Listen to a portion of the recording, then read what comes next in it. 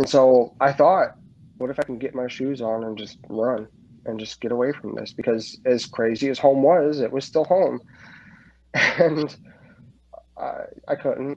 And so I packed my things up in a garbage bag and they took my little sister and I to the Child Protective Services office. That's right. We're on live. We're gonna get this thing done one way or another. What's up to y'all?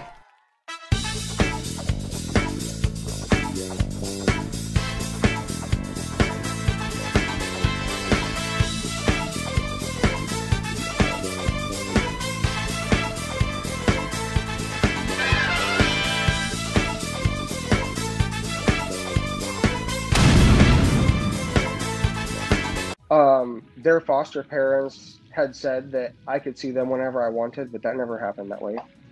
Um, and basically, it, it was just it was a hard situation.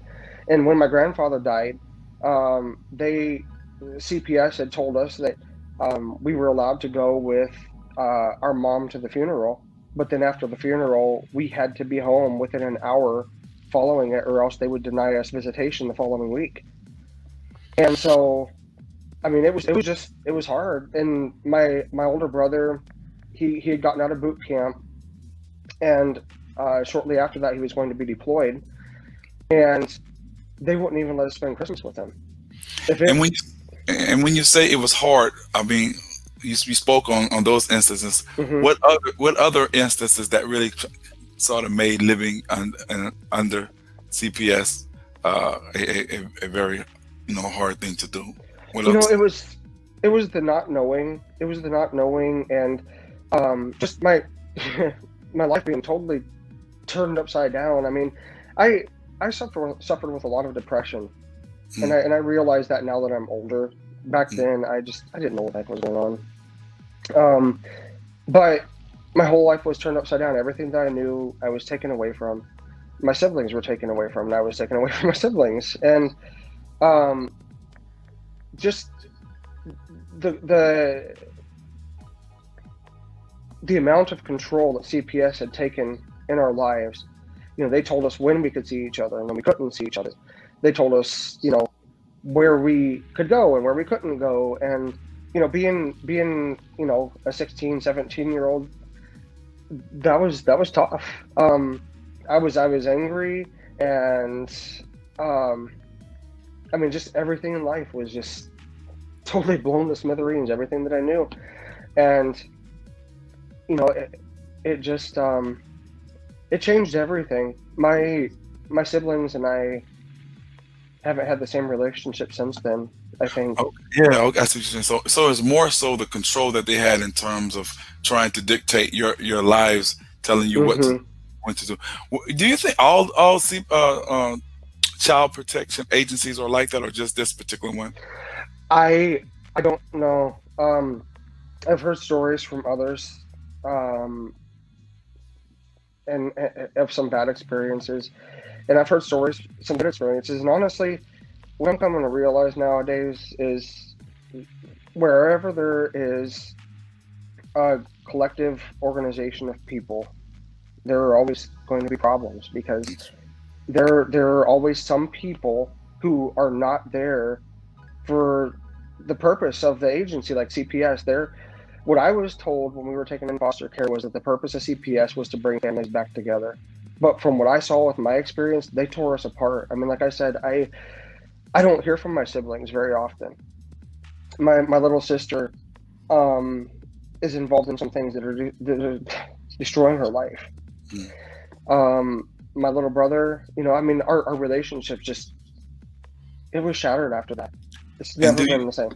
Do you think that they felt or they feel that it was more so you not wanting to get in touch with them, or do they have any idea that it, it was more it was more of the agency that was keeping y'all at bay? You know, I, I wish I knew. Um, I, I know I know though that it, it took that instance for me to be able to like say the words I love you to them. That's kind of the way that home was. I mean, like we we knew we were loved, even if we didn't always feel like it, you know, because when you're a kid, love is subjective. Um, but it, it, it took that instance, and, and I think that that's where that there was some closeness that came out of that. I mean, it, it I really had to push to say those words because those words I don't recall them being said at home very much. Mm. But I, I don't know with my siblings. Um, I I tried to email them, but their foster parents would read the emails, and so it was like, how could I how could I have a personal, close relationship with them when everything was being monitored? And I mean, I understand that to some to some degree that has to happen because mm-hmm. kids who go into foster care. I mean, honestly, I'll, I'll be very real about it. I dealt with a lot of suicidal thoughts when I went into foster care. I mean, my world was flipped upside down. I was a pessimist, and I I wanted to die. I felt like there was like no life, and everything now, was just a mess. Now, feeling that way, uh, what, what, was it? First of all, how how how, how old were you when you were released um, from foster care? It was after I graduated high school, pretty much after I turned 18. And what about um, your brothers, brothers and sisters? You know, they they came back. Oh man, I don't know if it was weeks or months after that. It, it um, I don't even remember the time frame. Like some of that, some of that, those years were so painful that I think that part of my mind has just blocked it out. So where are like, they now? Remember, you know, they they um they're they're on their own now. Well, it's it's sad because I I, I don't even know the city that my sister's in anymore. Um, I I love my family to death, but that that situation with CPS shattered our family even worse than you know. I mean, I said it was dysfunctional before, but after that, it it totally shattered everything.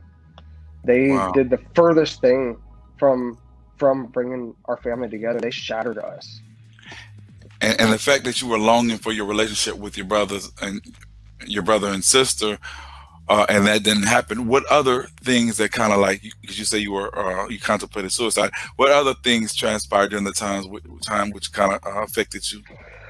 You know, so I was getting ready to start my senior year of high school, and it was the same high school that I had been in for the previous three years. And um, before um, before my best friend's mom took custody of me, my foster mom, who was a math teacher at a vocational school, had told me, she said, you should look at coming over here. And I thought, I can't deal with that change right now. I've already been, you know, I've already had everything else ripped away from me. I, I can't deal with the change. But then I went back to the high school that I was at, and all of a sudden, I hear, you know, you know how high school works. Mm. Somehow or another, everybody knows everything. At least, at least where I was at. My my town was a small town, the town that I grew up in. Hmm. My graduating class was like 36. Everybody knew what was going on there. And so I went back to school and people were making comments about the foster care situation. And I just broke down and I said, I, I want to go to the vocational school. And so it ended up working out for me to be able to go there. And um, I spent my senior year over at a vocational school in a business computer technologies program. And so that was a huge change. It's totally different environment, totally different people. But at least over there, next to nobody knew what was going on. And I didn't have to hear about it because the last thing I wanted was a reminder of what I was going through. Like it was it was so painful. And um and so that that change went on. Um you know, and again, that was shortly after my grandmother died, and my, my grandmother was she was my best friend mm-hmm. as a mm-hmm. child, and then you know having having my grandfather pass away in 2002, um, you know, four or five months before was released from foster care, and not being able to see him and not being able to spend time with him, there were so many tugs and pulls going on inside. Um, it was it was one of the most painful experiences in my life. It really was. And so how? So, go ahead. No, go ahead. You're fine. How how so now that you've gotten older and you have your kids and what have you, what what how, how are things different um, in terms of you rearing them and, and showing them love and, and, and just this the connection? How is it now? With my boys, um, the three of us have been through a lot together. And, you know, come March, it'll be six years that I've been on my own with them. And one of the things that I learned through that foster care experience was that if if there's someone in your life who's close and you love them, to don't wait to tell them that. And so my boys, I tell them that I love them all the time, you know, and they they um they come up to me for hugs. My youngest, he's still, you know, he's about 80 or 90 pounds. He still wants to be picked up. My, my oldest, my oldest, who's like, you know, 190 pounds or so, he wants to be picked up. I'm glad I still can pick him up. But, mm-hmm. You know, that won't happen for too long. So they're getting but, all the love that, that you can give them, right? They are because I didn't have that from my dad when my dad was alive, and my mom's boyfriend was not a good father figure to us, you know. And and and the thing is, is as negative of a, an experience as it was, it taught me that it's okay to say the words "I love you" to people who you love. It's it's not something that you should hold in, and like those words, those words have such a huge impact on the hearer that we we don't understand. Just to know that you know, especially nowadays with everything that's going on in this world and the way people are treating people, for somebody to hear the words "I love you," that mm. that could that could save someone's life. Yep, that's true and so that's, that's one thing that I've learned is don't hold those words back from people because the the, the power of those words really is life changing and I mean it, it saddens me to think because like even when I was there facing my little brother and little sister when they were getting ready to go um, into the you know, the foster home that they were in, I had to push to say those words and I could barely get them out. And nowadays it's like I just if there if there's someone in my life who I love, you know, my, my girlfriend, I love her to pieces. And there's no way I could go without telling her that. My kids, there's no way I could go without telling them that because, you know, if something was to happen to me, mm. I would want I would want the last thing for any of them to remember that I loved them. You know, and those words have such a tremendous impact that we don't even realize when we see so much hate going on in this world. I feel you, and I'm I'm so glad that you it, uh, it, it had a different effect on you as far as you, you being able now to to tell the person, tell people that you love them, and share that. So when you hear the, as we sum it up, and when you hear the when you hear the word foster care or someone being placed in foster care or reading a story or whatever, what's the first thing that comes to your mind? Honestly, it breaks my heart because I mean, it could be that the the child or children going into foster care are getting out of a bad situation but there's also the the chance that they're going from a bad situation to a good one. I mean, I mean a good situation to a bad one. Mm. You know, there there are situations that I've read where you know kids are taken away from blind parents, and that's a that's a subject all in, in and of itself. Yeah, I mean, definitely, definitely. And and you know they're they're being taken away from loving, able, you know, able, capable parents, all because their eyes don't. I mean, like I said, that's another story altogether. But when I hear about foster care it scares me because I just I have a hard time when I when I hear the mention of CPS because of the things that I dealt with with them. And I know that not every CPS worker is like that, but in every field, there are going to be some people who are simply there for the paycheck. They don't care about the people. And when when these kids are in this situation, I mean, I can't imagine what it's like being a parent and having it taken away from you. I, I don't know. But being a kid who was taken away and just torn apart from everything that, you know, I knew, um, the way that CPS dealt with it was terrible. I felt like they could have cared less. Um, gotcha. And and so it's like it scares me to hear that someone's going into foster care. Um, it, it makes me sometimes wish I could be a foster parent you know, I'm I'm not perfect and I don't have a lot to offer, but I can at least give a loving home. Love is love is a great deal to offer to give them and whatnot. And um, during all this during all this time, where was your where was your mom during during the, the time you were in uh, foster care? She she made she made a bad choice, um, and I don't say any any of this in any disrespect to her because you know we're all trying to navigate this complexity known as life. Mm. Um, but she could have had us back sooner. At least that's what she was told. But she didn't make the choice they wanted her to make. And so we stayed in there for like over a year and a half. And um, essentially, it just, you know, after after she realized that she made the wrong choice, she just she worked to get us back. But she had her bad times with CPS, and and the again the caseworker who we had was a very terrible person to communicate communicate with. She she had a very harsh sounding voice. She seemed like she could have cared less about putting a family back together mm. or, or anything of that nature. Um, so you know, my mom she she was just doing the best that she could. Okay. And how's your relationship with her at the at this point? You know, um, we we talk. Um, I try to I try to talk to her on the phone at least once a week. Um, she um, she was out here with my boys and I for a while, but California is not an easy place to live in. Um, and so she moved back to Ohio. Um, and again, that's that's with the exception of my older brother, that's where all of my family is is back there. And so I'm over here in California, like 2,400 miles away or so. And and if you can say, if you can have any any words that you want, you know, to to say to your brother and sister right now, what would you say to them? You know, I would just tell all of them that that I love them. You know, more than I can describe, and um, I'm just looking forward to the day when I can be around them again and see them and hear their voices and just like spend time with them and catch up on all of these years in life because I mean, I've been out here for 13 years, and last year was the first time that I set foot in Ohio for like over a decade.